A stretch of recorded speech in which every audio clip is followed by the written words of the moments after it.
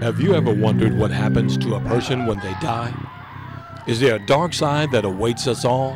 In 1998, television personality Dr. Mills temporarily died for 3 hours and 45 minutes. He details this hellish experience in his new book entitled While Out of My Body, I Saw God, Hell, and the Living Dead. The book is available at Barnes & Noble.